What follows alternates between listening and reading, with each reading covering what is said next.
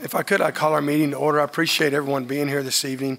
Uh, The first item on our agenda is to call our meeting to order and establish a quorum. All of our board teams here, so I appreciate everyone being here and us being able to start on time. Um, The next item on our agenda is our invocation.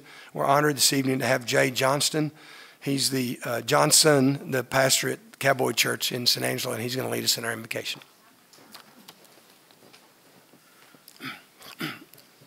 Let's pray. Father God, we just come to you, Lord, and we do thank you for this day. And we just come together to acknowledge that you are God and you're the strong one who sees and hears, Lord. And we thank you for your mercy and your grace, Lord. Father, we just pray as we come together, pray for these leaders, Lord, as they come to, to make decisions, Lord, uh, uh, for, the, for, for this community, uh, for the kids, Lord, for parents and for faculty and, uh, and all that's involved, Lord. So, God, I just pray, God, we know that you have a plan, and but you ask us to do the legwork. So I just pray, Father, for wisdom, Lord. I pray for knowledge. I pray for discernment. I pray for awareness, Lord, that in decision-making process that we would just not choose what is good, but what is excellence, Lord. So we put our faith and trust in you in all of these things. And we thank you for your promise where you never leave us, you never forget about us, and every perfect promise of our salvation in Jesus. For it's in his name we pray. Amen. Amen. Thanks, Pastor. We appreciate that. Okay, our next items are pledges, and I'm going to welcome our students from San Jacinto Elementary as they come forward. So we have Kason Bowie, Sierra Hudson, Sophia Rudolph, Gigi Roman, and Lulu Alfaro. So, so let's stand up.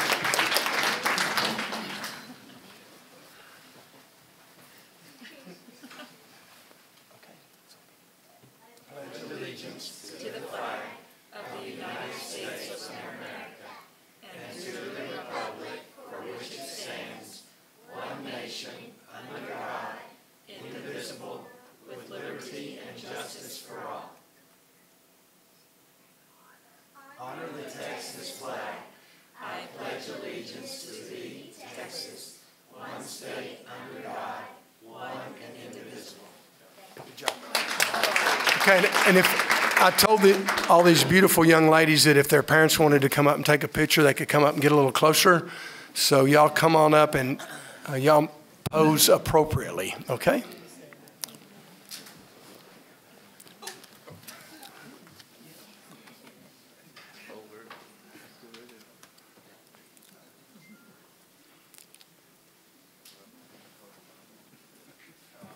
Great job, young ladies. I, I always remind them that they have to start and they have to be loud so that I can hear. You know, so they did both those excellently. So we appreciate um, them being here this evening. I'll go ahead and read our script um, before we uh, go any further. I appreciate um, everyone being here. Good evening and welcome. As the president of the Board of Trustees of the San Angelo Independent School District, I'd like to welcome all of you who are present at tonight's regular uh, school board meeting. I also welcome those of you who might be watching the tape of this meeting on our public access channel, Channel 4. We appreciate your interest in our students. All items that will be discussed at our, this, at our meeting this evening have been posted as required by state law. Also, as you may be aware, our board meets a minimum of two times per month, and most, if not all, the items on our agenda this evening have been previously discussed at an earlier pre-agenda board workshop. As members of the San Angelo Independent School District's Board of Trustees, we're here to set goals, listen to reports from our superintendent, approve budgets, contracts, and personnel appointments, and to make policy for the school district. Please keep in mind that our meeting is a meeting of the Board of Trustees held in public and not a meeting of the public. However, with that in mind, we have an item on each, we have an item on every one of our meeting agendas that allows every, anyone present who wishes to speak to our board team an opportunity to do so. I also will make certain to give everyone an opportunity to speak on any item not listed on our agenda. Additionally, prior to taking any votes, I will ask audience members if they would like to make any comments. Anyone wishing to make comments to our board team on any agenda item should be, do their best to limit their comments to three to five minutes. In compliance with Texas state law, these proceedings are recorded and will become a part of San Angelo Independent School District's permanent legal record. In order that the tape might adequately reflect the proceedings, I ask that you please refrain from talking while others might be speaking. And I'll also ask, as, as I remind my fellow board team members, to please turn off or silence your cell phones at this particular time. Again, it's my pleasure to welcome you to tonight's meeting and to thank you for taking the time to join us this evening. We appreciate your interest in the activities of our students and the business of our school district. Um, Our next item is item four, recognitions, and I believe uh, Mr. Jackson's going to help us with that. Thanks, Derek.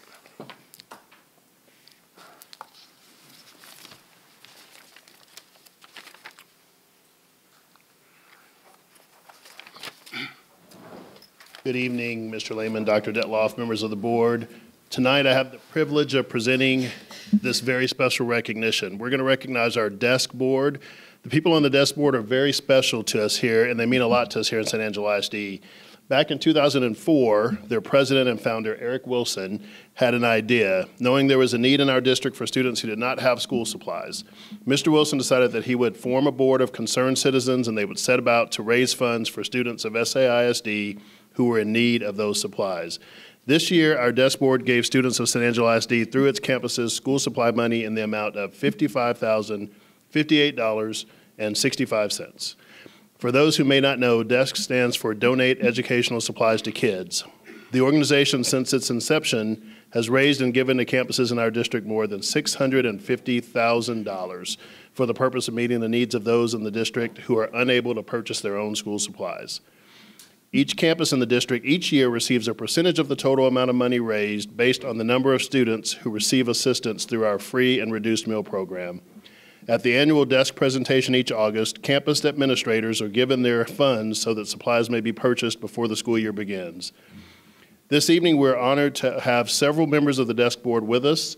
So, Dr. Dethloff, would you please come forward and help me recognize the desk board members who are here in attendance this evening? And desk board members, when we call your name, please come forward and Dr. Dethloff will present your certificate. And we would like for you to stay as well for a group photo, and then our board members and administrators would like to greet you and say thank you. So, with that said, we will begin with Eric Wilson.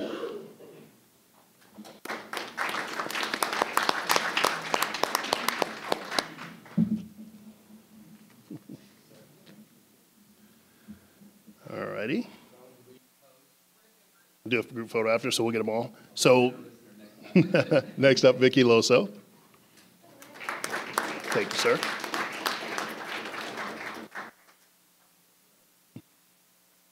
Diane Wilson.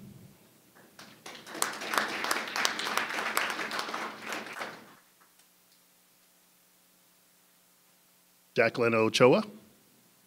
Not in attendance, okay. Finding he was here, sorry about that. John Flint, I didn't see John around there. Think we can get that in his hands. Andy Mayer, not here. Elizabeth Jost. We have a couple that did not attend, I apologize. Kathy Self. David Wagner, is he here? Well, I know Cheryl's here. Cheryl Book. Let me get to the ones I know are here. All right, that looks like that's going to be our group for the photo.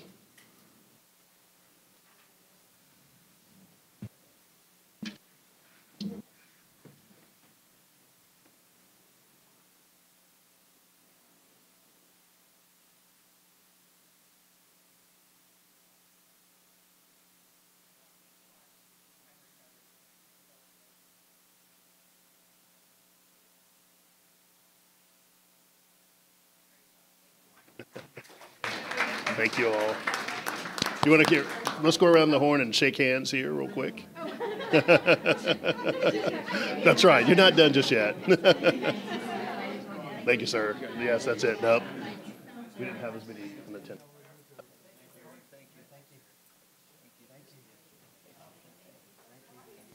Guess just.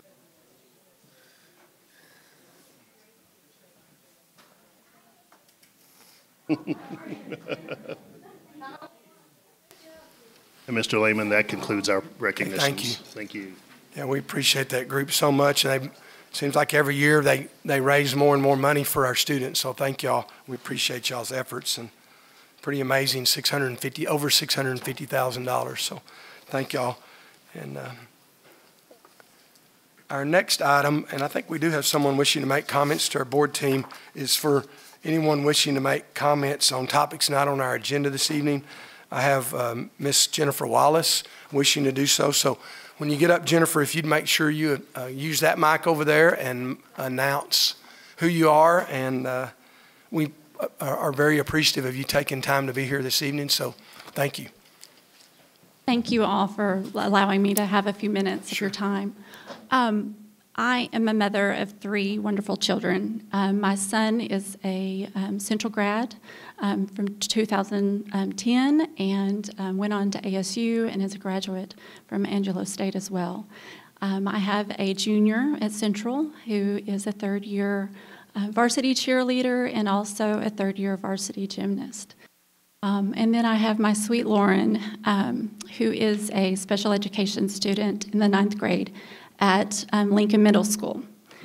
And I am here tonight on Lauren's behalf. Um, my other two children are who they are today because of the things they have been involved in in school throughout their lives. And I'm here tonight to encourage and help promote special education, to develop programs so that our children have other opportunities to grow. I didn't prepare anything to say tonight because this is definitely from my heart. And I'm not just speaking on Lauren's behalf, this is for the other students whose parents are not here tonight or can't come, um, but also may not have the faith that I have in our school system. I want to see us grow, and I want to see us improve, and I want to see us do better. I know that the special education department grew tremendously this year, and what a better opportunity for us now to take that and make this into something great and uh, want people to come to San Angelo to be a part of something that's good. Um, I believe in our school, and I believe in all of y'all. And so when Stephanie or uh, Denise Boyles is, is helping to push, um, it's because of me. It's because I'm pushing them. Um, because I want to see change and I want to see things happen for the better for our students um, in the special education program. So thank y'all all for your time. Thank you. Thank you. Thanks, Ms. Wallace. We appreciate you being here and uh, be, speaking on behalf of so many of our students. So thank you. Okay, let's move forward to our minutes, the approval of our minutes. And um, I, I think you know this already, but we can't specifically address anything that you discussed this evening because it's not on our agenda. But uh, certainly as we move forward, I know we'll keep your comments in mind. And uh, our team, our administrative team, uh, will, will certainly um, accept the challenge. You know, so thank you. Um, our next item is approve of our minutes. Do we have a motion to approve our minutes of our August meetings? Move to approve. So we have a motion from Mr. Hernandez and a second from Mr. Parker to approve the minutes of our August 13th special finance and pre-agenda uh, workshop meeting, our August 20th, 2018 regular board meeting, and our August 27th, 2018 special meeting. Are there any comments um, concerning our minutes or any additions or corrections that you'd like to make to our minutes?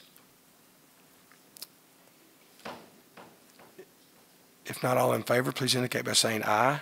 Aye. Any opposed indicate by saying no. Our motion passes. Our next item is for reports. Uh, I checked with Ms. Harmon. I think we're okay on um, Goodfella. Um, our next item is B on our reports, update on academic progress. Um, and I think Ms. Dr. Ritter is going to help us with that.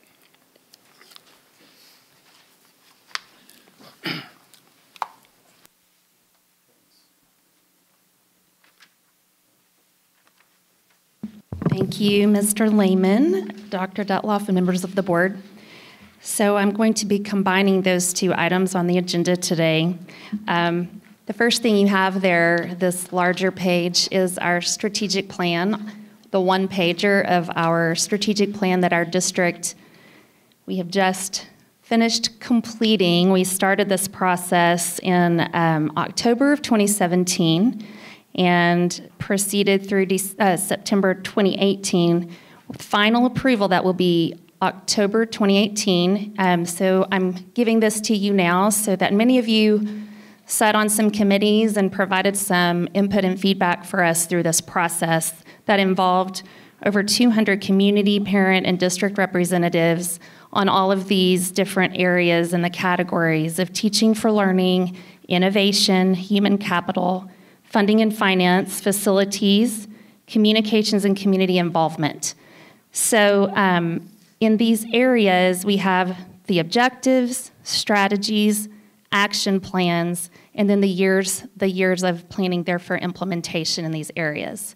So um, I just encourage you to review this. You'll have an electronic copy also provided to you. And we will be, I will be soliciting some input from you also. And if you have questions, you're welcome to contact me. We'll be presenting this in final form next month in our October board meeting. So I want to highlight, though, the two areas of teaching for learning and innovation. Um, as we do academic reports, it's important for us to connect everything we do with our strategic plan that we are that we have developed, and with the objectives of all students being actively engaged and invested in their learning to grow academically and become future-ready graduates under Teaching for Learning. I wanted to, and also under innovation, inspiring students to be invested in their learning. I wanted to highlight on the academic update here that you have in front of you also. And I'm just, there's so much that I wanted to share with you today that I'm just going to go through these items, and I gave you the hard copy so that you have that to, to follow along with me. Do y'all have that one, this white page here? Okay. Um, first of all, I think we just I wanted to brag on our district a little bit, and it's not on this page, but in line with our teaching for learning, um, wanted to highlight that even just today, we received notification from the Texas Association of School Administrators that we have been selected as the leading district in the state in utilizing our curriculum audit and our processes to drive district improvement in teaching for learning. Um, I will be representing our district and presenting this with TASA at the upcoming TASA TASB School Board Conference um, and they're wanting us to focus on how we've utilized our curriculum audit to proceed with curriculum writing that we started three years ago. Um, and impl- the implementation process, the revision is a continuous improvement process. With the thing that stands out for our district is how we're utilizing also our future ready learner profile and really embedding that into everything that we do. And so we'll be presenting, I will be presenting that with TASA um, this next in two weeks, I guess, when we go for the TASA TASB School Board Conference. Um, we're also currently finalizing our parent community platform. Um, this will be ready in, for access for our parent community by December of 2018. Again, a component of our curriculum writing process that's very important to us so that we know that we have transparency in what we're doing in curriculum, that we're also very aligned with our state standards and our high priority learning standards for the district in, in line with our future ready learner profile. So that's just a little area of pride for us as a district, and we're looking forward to that and informing you more on all of that. Um, with our academic update tonight, what I wanted to highlight here, um, we've just had a lot of processes happening with the beginning of the school year. We just completed a continuous improvement data dig. We are going to complete this with all of our campuses. We did about half of our campuses last week um, at the Region 15 Education Service Center led by David Bedford, who is, he works with the school improvement department there. And really, this was in order for us to take campus leadership teams through a deep dive into their data on their campus from their previous year STAAR data. The campus leadership teams, which include administrators, ICs, and several lead teachers from each campus, they were that we were um, focusing on effective leadership through a growth mindset lens and closely examined our campus data to discover areas of strength and areas of focus for targeted strategies and actions. Completed a root cause analysis to understand specific needs of student groups as well as to determine effective responses for improvement efforts and every campus team through this process developed a plan of action to clearly articulate the next steps in providing support and focus for each targeted area as a response to this, um, our administrative team of Dr. Dethloff, Shelley Houlihan, Matt Kimball, myself, and the executive director for each campus, we've started the rounds of our um, academic focused leadership meetings, starting with those campuses that we just finished our data digs on. We've met with the campus administration, held at each of those campuses, and um, I just included the questions that we've gone over with them, more of a conversation around what were the ahas through that process. Each campus principal reflected on their data dig and responded to these questions that I've provided you here. Just really, what were the main discoveries, the highlights, the top three focus areas that your team identified, the responses you determined, including activities and strategies for these focus areas, and how will the principal be leading the monitoring and implementation of strategies on the campus. So we've had some excellent conversations with our campus administrators, and what we've come away with from that is a feeling of excitement. They feel very supported by the district in the areas of math and reading with our literacy initiative as well. And um, so it's, it's really nice to be able to go in and help support them and to hear from them how they're planning on utilizing that support. And they're very appreciative of your support as well. On the back of this page, I just gave some specifics to our literacy initiative. We are, right now, we're working with um, Scholastic. Our, we have consultants who've been on the elementary middle school campuses last week and this week to meet with and provide job embedded coaching for every elementary middle school reading teacher in the district. Our teachers are being provided feedback regarding implementation of best practices in guided reading and balanced literacy, and our curriculum team is working alongside them to be able to carry this out in the coaching with fidelity throughout the school year. We also have level book room materials and digital planning tools that our teachers are being trained in so that they can more effectively plan lessons designed around the customized needs of our students and their reading levels. Um, our numeracy initiative, which is math, um, we're, we have observers right now on campuses this week to observe math instruction in our classrooms, K through 12. And we have coaches developing a customized plan of action for every campus and moving forward with instructional best practice. These coaches will meet with teachers throughout the school year to provide job embedded coaching to increase the use of research proven practices. Again, we feel that um, in focusing in these areas this year with our new curriculum, with our future ready learner profile, that we're really headed in a great direction. Our teachers feel very supported, and our principals are very excited about this support. And lastly, here we're going to highlight the measure of academic progress assessment, our MAP testing that we are going to be implementing this year. We've talked about it some with you. These are growth tests. It's a measure to help us understand what students know and what, in, what they are ready to, it informs us as to what they are ready to learn next. By adjusting to their responses, the MAP tests create a personal assessment experience that accurately measures performance. Timely, easy to use reports help teachers teach, students learn, and administrators lead.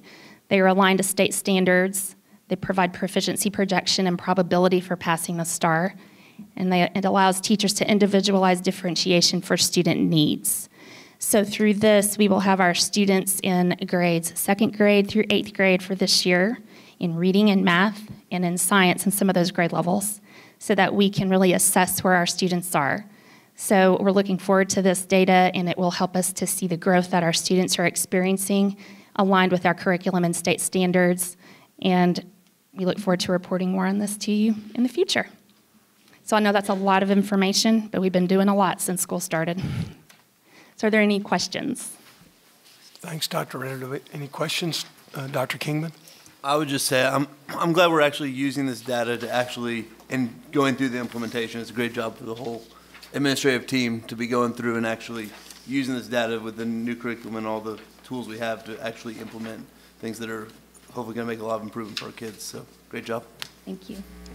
And thank you for asking the Region 15 Service Center to get involved with this as well. Absolutely. They've done a fabulous job. We are partnering with them, and we have another round of campuses that we will be going through um, October the 4th to do the same process, and then we'll con- continue with our academic focus meetings that we'll be having with those administrators. Yes, Dr. Dethloff? I- I'm sorry, go ahead. Well, I just want, you said Parker. something that wasn't on our paperwork. We, we were chosen what? And we're getting, uh, I know this is this is new information. I knew we were going to be called on, but I didn't know that we actually are a, the district that was selected to participate to present this with TASA as the district that they've identified um, to really who that we've gone through. We've gone through this entire process that we have a true five-year plan with a strategic plan in place that we're following through with that with fidelity, with support, and um, they're just very impressed by that and that we have our future ready learner profile that we continually embed into the work that we're doing. So it has to do with, we had our curriculum audit years ago, a few years ago, and we have made sure we have addressed those areas. We have rewritten a curriculum, we have revised it, implemented, and we are moving forward with everything that we have we have found that needed to be need to be adjusted and addressed. And so now we have that aligned curriculum across our district. We actually today had the round, this is the last round of curriculum writing for the group of, this is fine art, all the fine arts groups, um, electives, including um, what am I trying, languages other than, than English. So our Spanish was here as well today, and um, any outlying groups that we've had, like we, like some of our um, higher level science, higher level math, higher level social studies classes that were here as well today. And they were very excited to be included in this process.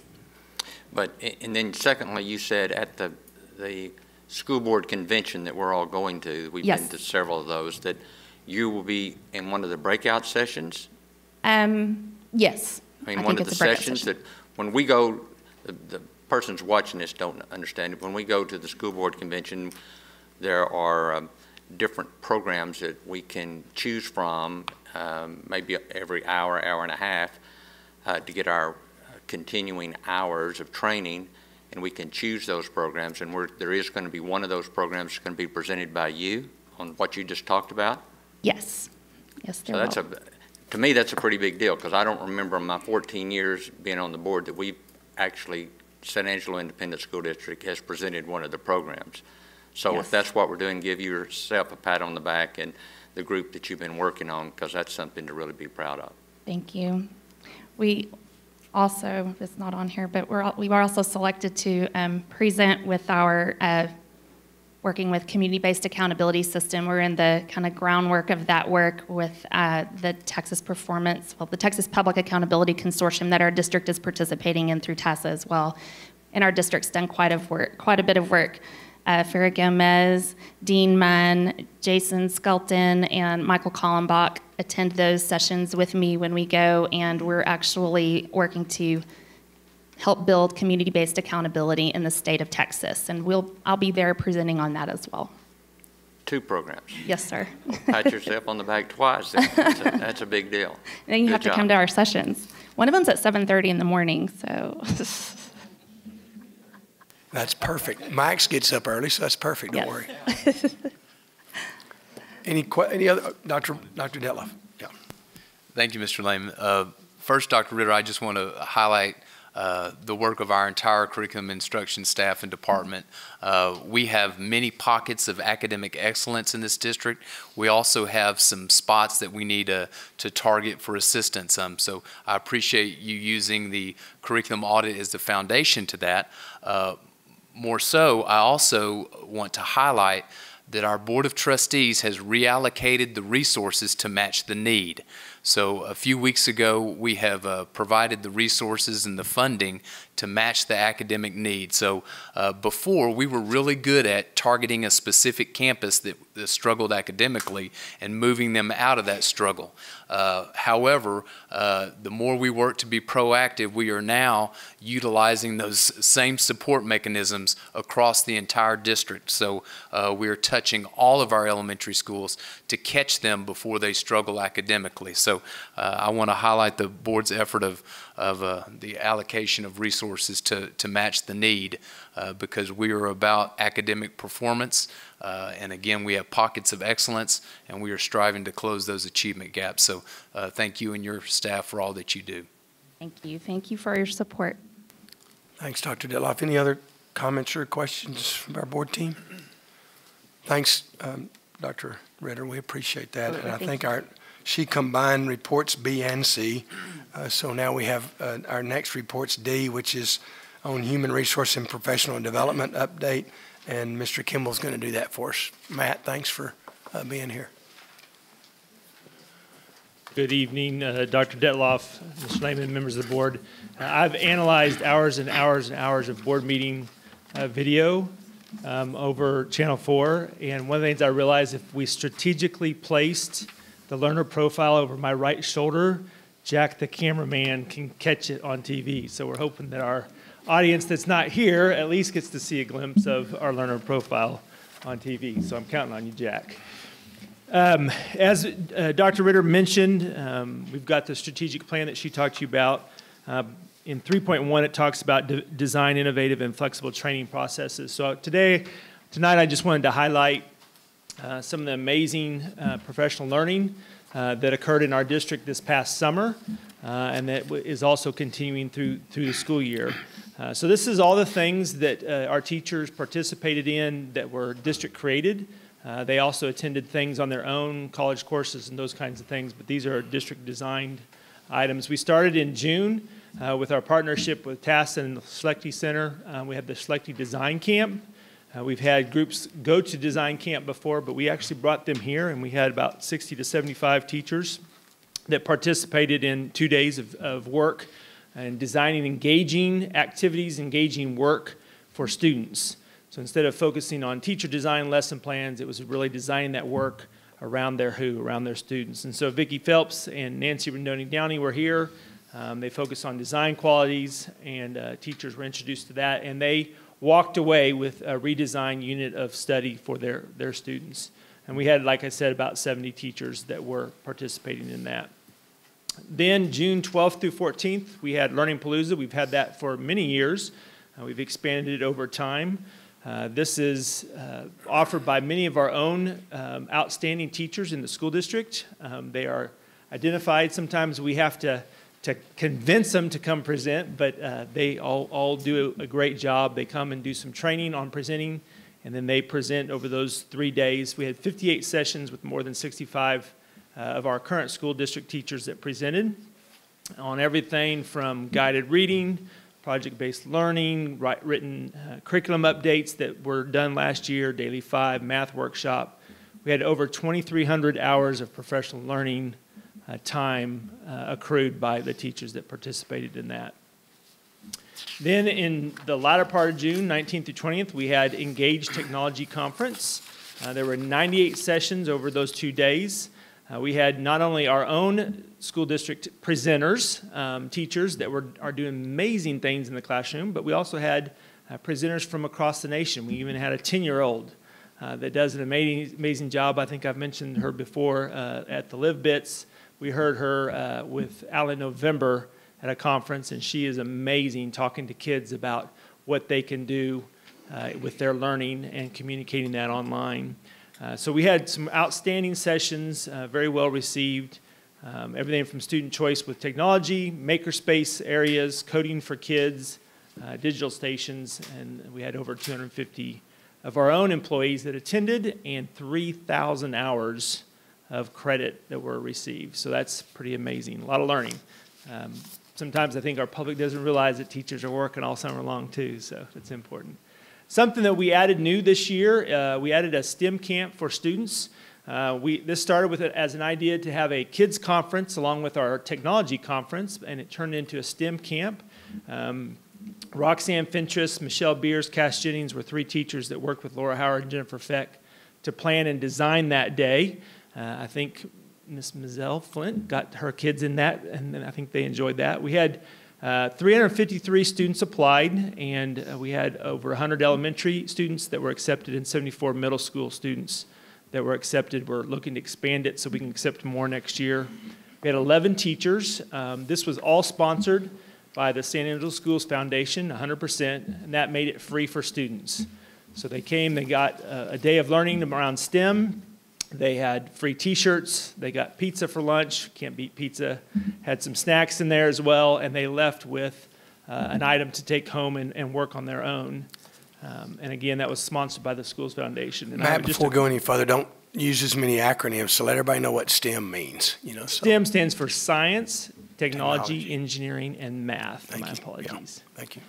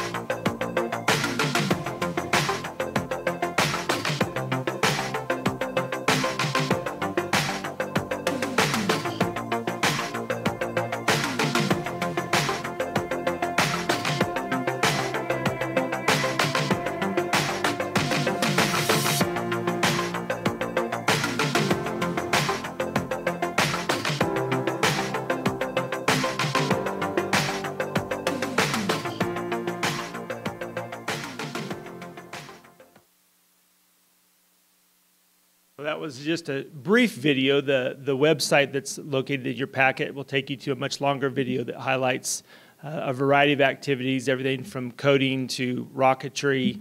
Um, they even did a solar oven activity, so a lot of different activities that involved science, technology, engineering, and math uh, at the camp. On July 27th, we had an administrators retreat. Again, uh, uh, Nancy Rondoni and Vicki Phelps came back and worked with our principals around design qualities. And the, the neat thing about this day was not only did they get to focus on the design qualities uh, that we look for uh, as we design work for our students, but they got to put it into practice as they designed professional learning uh, on August 16th. They designed for that day for their staff. So they put in those design qualities into to practice as they designed around the district initiatives and uh, key focuses of our district uh, when they came back to school with, with their, um, their teachers. July 30th, we had Coaching Greatness. Uh, Brad McCoy and Scott Candela were here from the Flippen Group. Uh, this is a complimentary program that we did with uh, 97 of our athletic coaches in the school district. Uh, it complements uh, Capturing Kids' Hearts and um, really is a powerful tool for our coaches to get involved and support uh, the work that we've done with that arena. That was over two days. and the coaches, many of them said that was one of the best trainings they had attended. So it was a, a great success. Uh, following that, we had on August 1st and 2nd, Capturing Kids' Hearts Leadership Blueprint. Uh, our leadership team and principals went through this last year, and so this year we were able to have our instructional coaches and our assistant principals attend as well. So 48 attended those sessions, um, focused on quality leadership through purposeful actions and reflective consideration of personal growth. And again, that aligns with uh, capturing kids' hearts and the work that we're doing uh, with that in our classrooms. August 9th, 10th, and 13th, we had our New Teacher Academy. Over 150, I think it was actually approaching 200 new teachers uh, participated uh, in sessions focused on uh, our key initiatives, our, our uh, high pri- priority standards, our successful uh, teaching strategies such as Marzano's um, strategies, and, and, much more. Uh, focused to get them on board and get them ready to start the year, as well as T-TESS, which stands for the Texas Teacher Evaluation and Support System. That's their evaluation system that we use for, for teachers. August 15th was our Teaching for Learning Day in the district. Uh, this was district-wide. We had uh, math and science teachers participated in curriculum rollout. That was new curriculum that was written last year, so they participated in learning about that curriculum, getting into the documents, uh, making sure they understood it so that they could begin planning with this year. Uh, language uh, arts, social studies, Foreign language teachers spent time planning and giving feedback on the, their new curriculum, and those were offered by curriculum writers and administrators across the district and focused on our Teaching for Learning plan, uh, the guaranteed and viable curriculum at the top, focused professional development on the side, uh, professional learning co- committee, com- community in the middle, and, and data. August 16th, as I mentioned earlier, principals designed this day using design qualities in mind, uh, focus on our district initiatives, capturing kids' hearts, the learner profile, design qualities, engaging students. And so these were conducted on the campuses, but centered around those important district initiatives across the district. And then August 20th was also a district professional development day. Um, Dr. Ritter mentioned the work that we're doing with Math Solutions and Scholastic, and this was an initial kickoff for some of that. Uh, we had elementary uh, teachers focus on guided reading as well as on math, and we added that up through our middle schools as well. Um, our writing initiative has been going on for several years. Uh, Farah Gomez has been working with our teachers on that, and we pushed that up into our English 1 and English 2 uh, teachers as well to, to make sure that we have our vertically aligned uh, processes for writing instruction. And we'll continue that work uh, throughout this year. And so that was a very full summer of lots of professional learning and, and a lot that are going on this year uh, continuing with Math Solutions, Scholastic, writing training, level literacy intervention kits. So we've got a lot going on, and, and our teachers are finding a lot of value in it. Any questions for Mr. Kimball? Yeah, go ahead, um, Amy. First, I just wanted to say that for those who think that teachers have the summer off, this is proof otherwise. um, and if we could just go back to the STEM camp for one second. Um, so my nine-year-old, or my eight-year-old and my 13-year-old both participated and had a, a, fabulous time. They loved it. Um, still talk about the different activities they did, you know, two months later. And the only complaint that they had was that it was only one day long. So, so, but I wanted to just take this time to publicly thank the Schools Foundation for um, sponsoring that for us because it was a wonderful program and we look forward to participating again next year. Thanks, um, Amy. Other comments or questions for, go ahead. uh, Thank you, Mr. Lehman. Uh, Again, I just want to recognize Patty Griffin and Matt Kimball in the Human Resources and Professional Learning Department for what they do. It's, it's a multi-layered approach uh, to have student success. And so uh, the executive directors in this room, uh, Dr. Bright, our assistant superintendents, uh, it takes everyone to generate student success. So I'm very appreciative of all the work our, our staff does. There is not a day that goes by that we don't spend two to three hours of that day focusing on student success and student academic performance. Uh, as you've heard this evening, it basically boils down to, to a, a couple of items. First, building relationships with kids. And also, as we know, extracurricular activities build relationships with kids, whether they're in band, choir, uh, soccer, volleyball, or on the gridiron uh, Friday nights or the dance team. It's those extracurricular items that also build relationships with kids. The uh, leadership profile, the capturing kids' hearts, all that helps keeps keep kids in school. And we know that when kids are building relationships, they're participating in school activities, they're safer, their GPA is higher, their attendance rate is higher, and their graduation rate is higher uh, when they're involved in school. So we want to keep kids involved in school, uh, and at the same time, uh, that involvement leads to higher academic performance. So I just want to thank all the uh, the staff that we have that are working diligently for the success of kids every day. Uh, also, Mr. Kimball, uh, our learner profile, I think, sets kids up for success, you know, in, in the modern era, because I think if you look at uh, any of the attributes of a learner, um, these attributes are the same attributes that organizations, the military, uh, trade certifications are all looking for uh, in kids as they hire them as they move on and become successful citizens. And all those, there are only four, uh, the four C's of the learner profile. I was at a meeting the other day, and for some reason I added a fifth. Uh, and I said civic capacity. So that's a good one, but maybe we can add that later. Uh, I'm not quite sure where that came from, but uh, the learner profile is just a, a great, uh, you know, it, it's kind of a lighthouse for us. It's, it's the guiding light of, of student achievement. So uh, I just want to thank everyone and our board again for putting the resources where the needs are. Other questions or comments? Thanks, Matt. We appreciate that update. And certainly, as Amy mentioned, uh, you know, our, our students, uh, some of our students are busy in the, in the summer, but certainly our teachers and administrators and others are more busy in the summer. So we appreciate uh, their commitment uh, to our students. Uh, our next item is Report E. It's uh, provided in our Friday facts. This is from the eighth day of school. We're much further along than that, but on the eighth day of school, we had four more students than we did on the eighth day of school last year.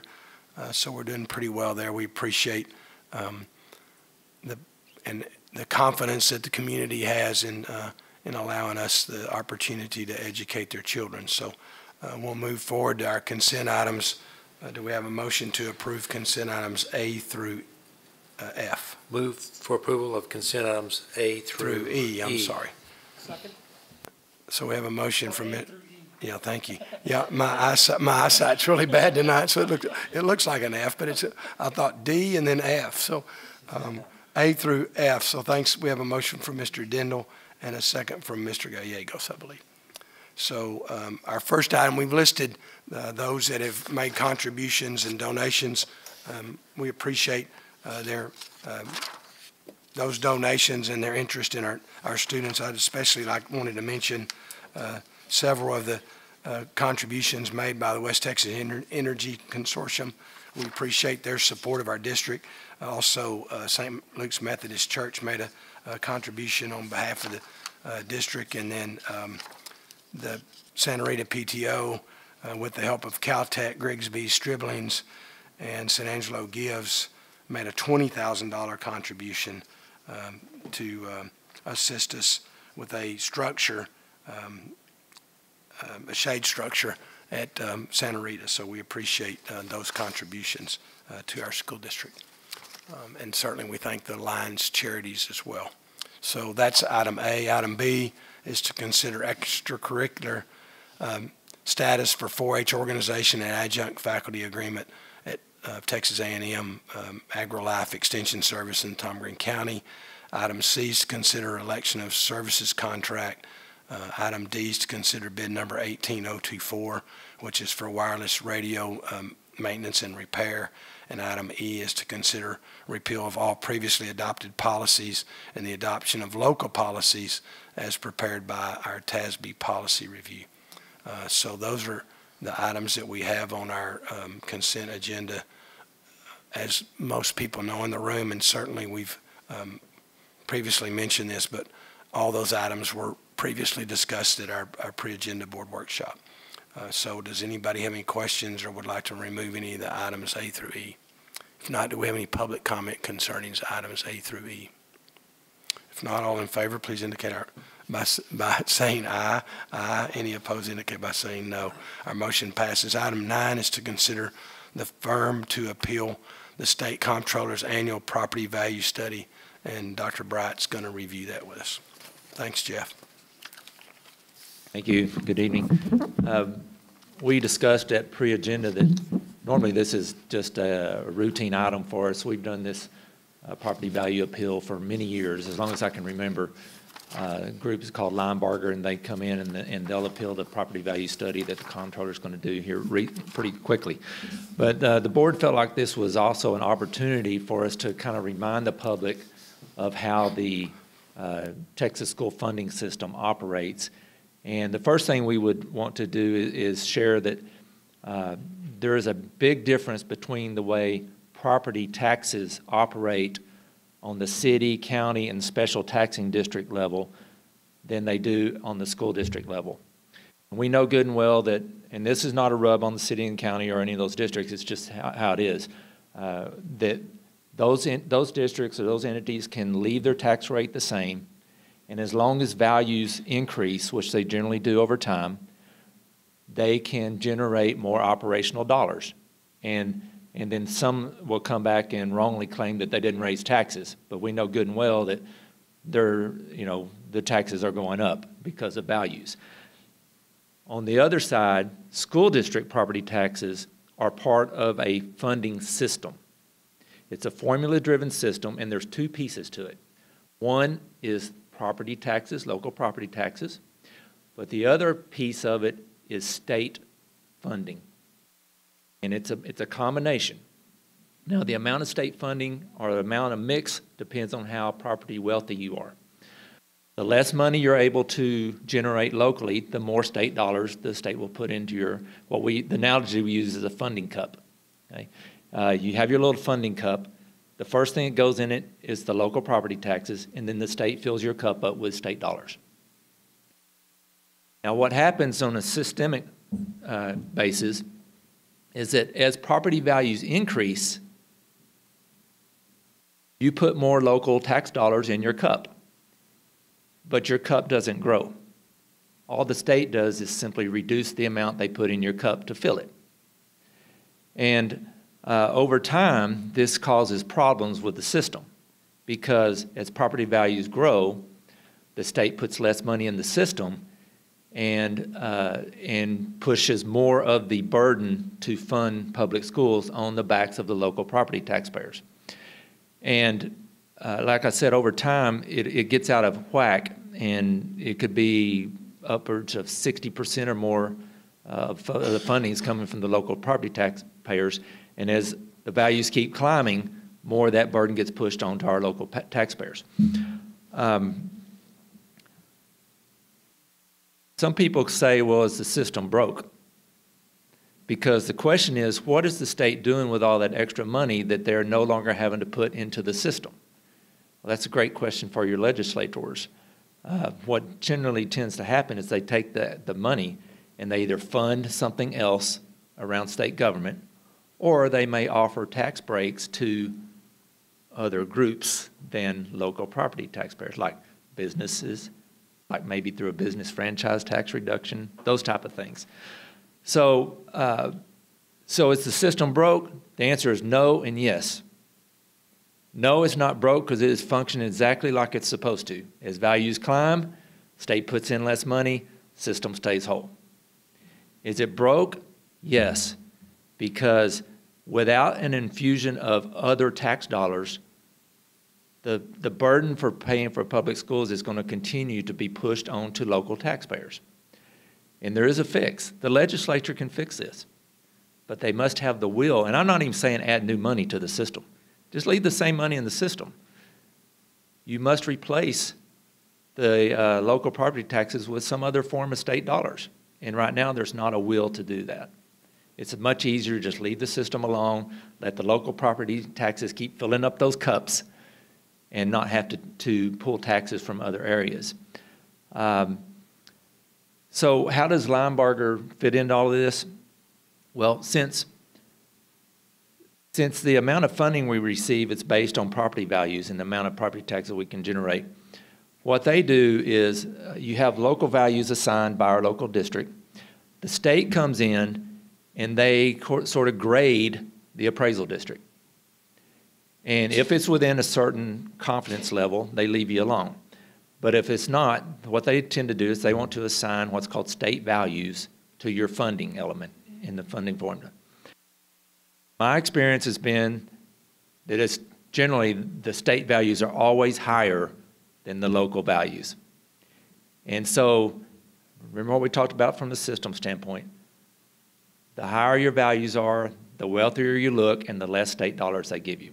So what this firm does is they come in and they they look at our values and they appeal to the comptroller's office to have our values lowered. Now, it doesn't affect individual taxpayers. It's from a systemic standpoint and from a district standpoint. And the lower they can get those values, the more state aid our district will generate. If we didn't appeal it, we would just get what we get and move on.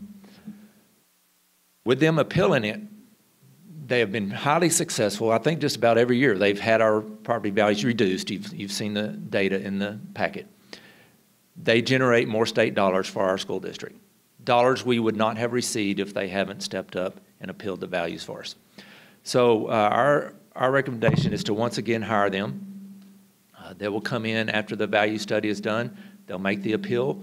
Uh, if they do what they've done every year in the past, they'll get our uh, values reduced in our formulas, and our district will earn as much state aid as we possibly can. Oh, Mr. Lehman, go from there. Yeah, thanks, Jeff. That's a a really simple explanation of a pretty difficult system, and I appreciate you doing that. But um, maybe one thing you didn't mention is how we pay Linebarger, so they you might want to cover that as well. Sure. Their fee is contingent on additional state aid, and they receive 10% of any gain we make. Uh, over time, they've gained a lot of money. In fact, I, I think I noticed that over the last uh, 15 years or so, they had our values reduced by over a billion our values would be a billion higher today if they had not come in and appealed.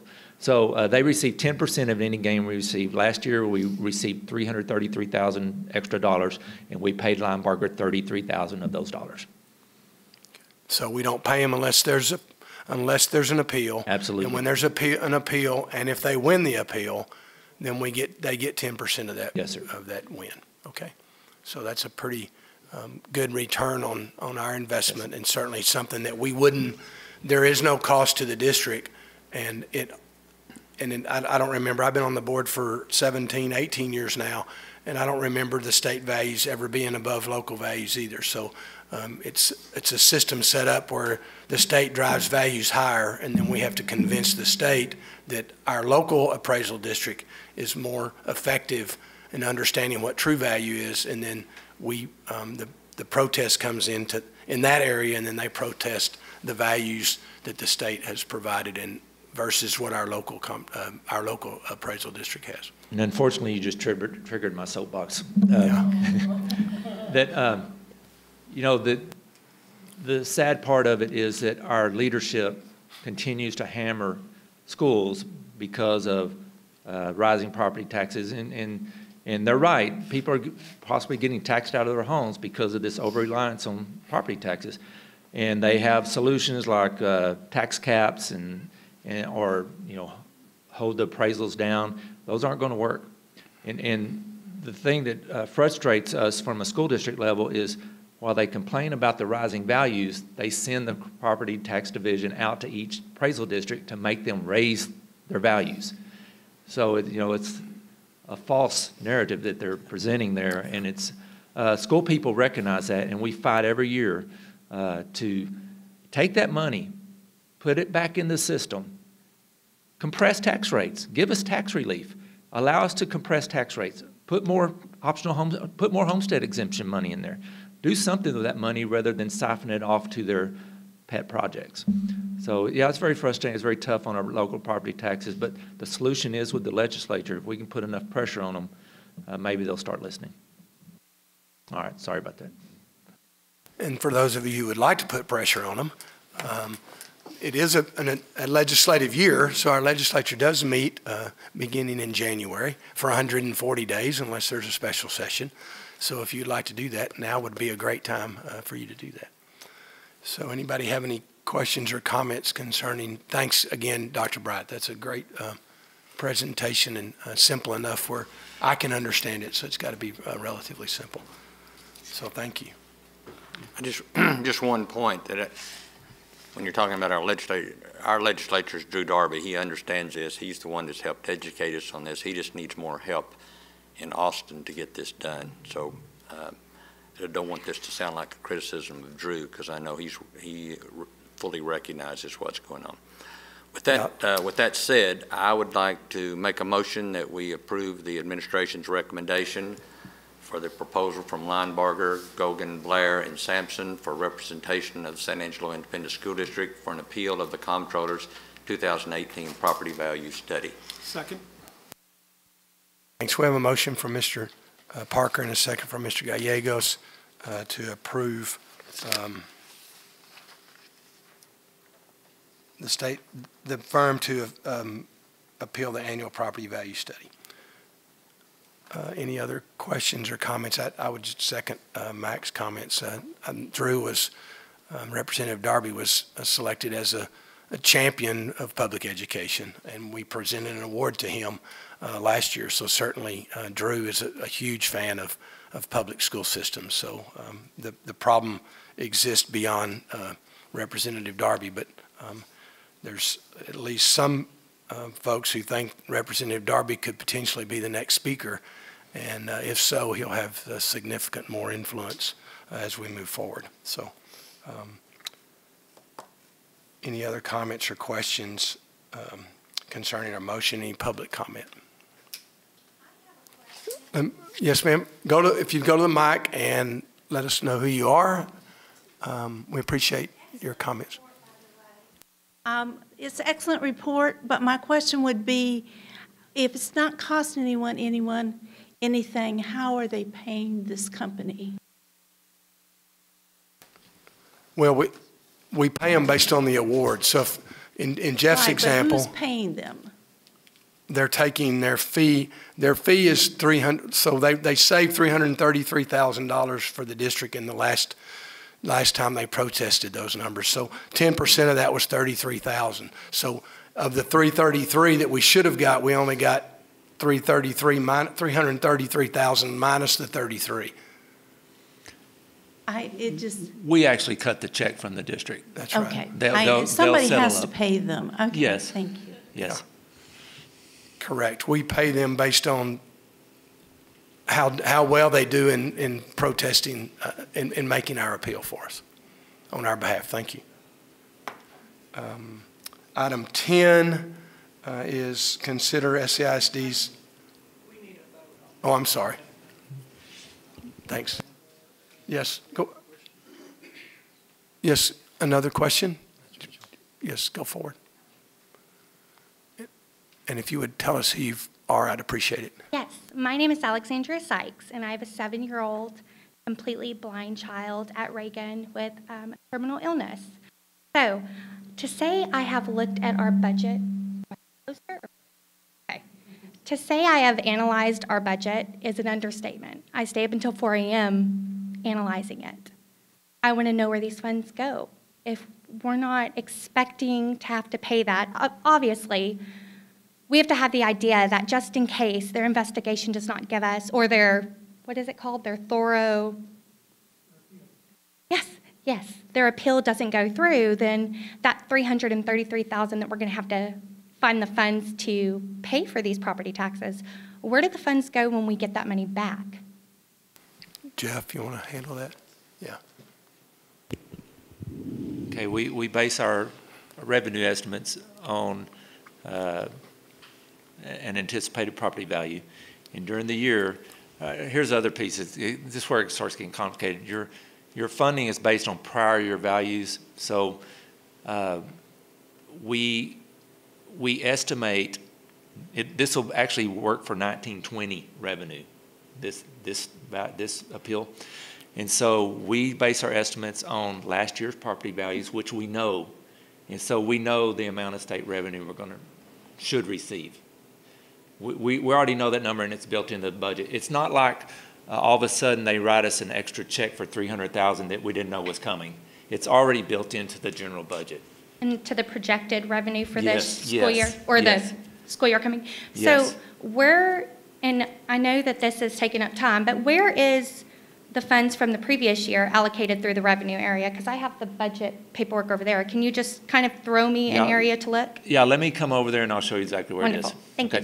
Thanks. Thank you. Any other uh, questions or comments? If not, thanks, Becky, for reminding me. We have, we need a vote. All- all- Anyone, uh, all, all in favor of a motion, please indicate by saying aye. Aye. Any opposing, indicate by saying no. Our motion. Thank you. And now, uh, item 10 is to consider San Angelo ISD's Head Start, Early Head Start Program im- Implementation Plan, and Ms. Taunton's here to help us with that. Good evening, Mr. Lehman, Dr. Dethloff, and members of the board.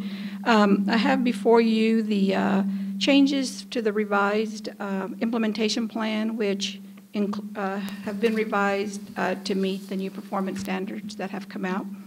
Uh, They've been revised in sections. Um, I gave you a handout in, that was sent to you that shows you all of the components of the implementation plan. Uh, Some of them you've already approved, starting last March.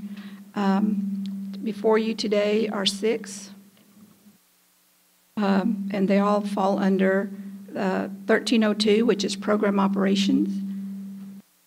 You have sub Subpart C, which is Education and Child Development Program Services. Subpart D is Health and Program Services. Subpart E is Family and Community Engagement Program Services.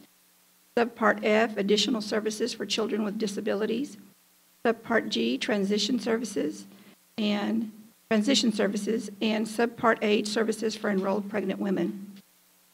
And all of these uh, include the statutory requirements of the Head Start Act by describing all of the program performance standards that are required to operate Head Start and Early Head Start programs.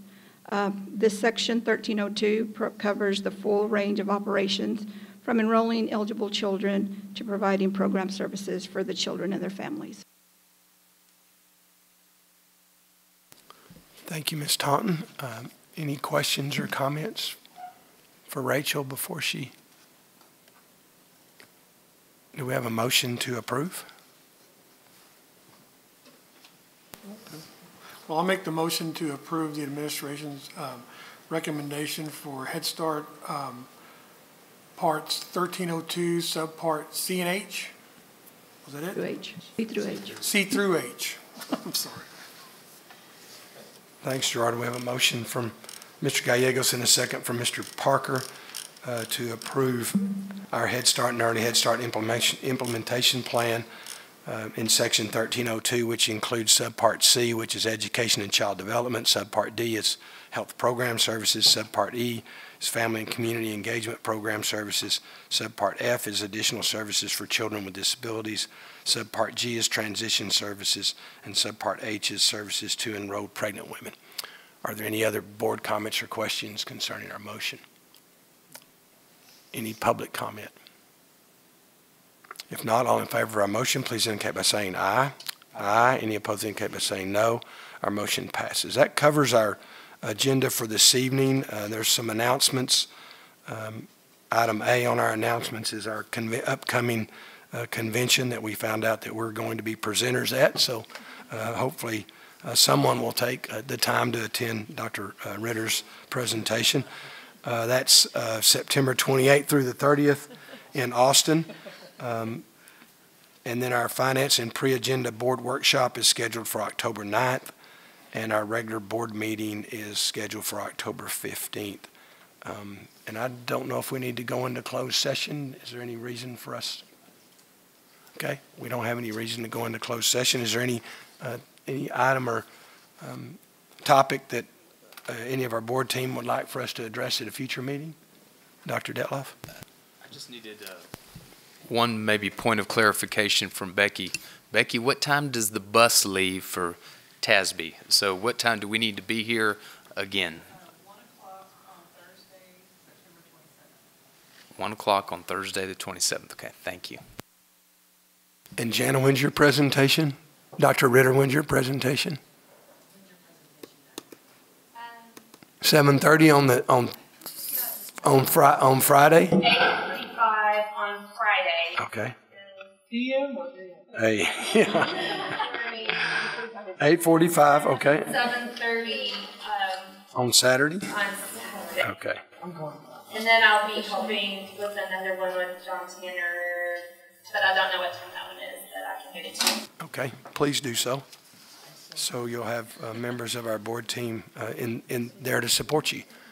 Um, And I I don't think we have any further business, so hearing no objection, we'll stand adjourned.